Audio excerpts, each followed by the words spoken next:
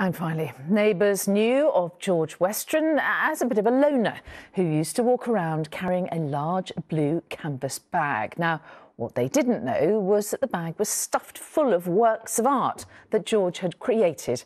After his sad death, it looked as though those artworks might well be lost, thrown away even, until they were rescued by a neighbour. Martin Stew reports.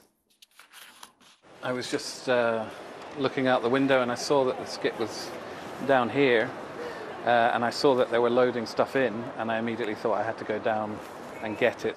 And this is what Alan rescued. Hundreds of hand-drawn artworks created by his reclusive neighbour George, who had died during lockdown.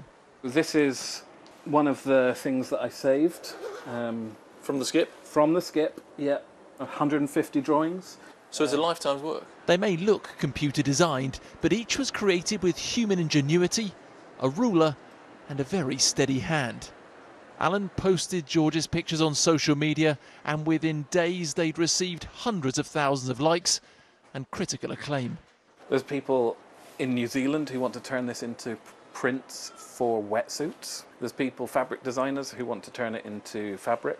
George had moved to the flat 20 years ago after living on the streets. Alan thinks art had been his escape from addiction and anxiety. Have you stumbled across a genius, do you think? Listen, I think George is a genius.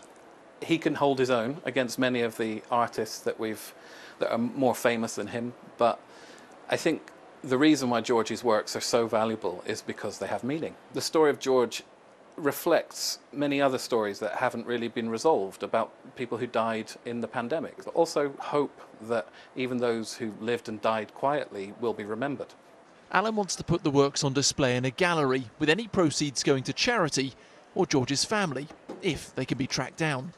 I don't really feel that this work belongs to me. I feel like I'm a temporary custodian and I'd like to find a place where it can be safely preserved. An exhibition of George's genius rescued from the rubbish. Overlooked in life, he's now in demand in death. Martin Stew, ITV News.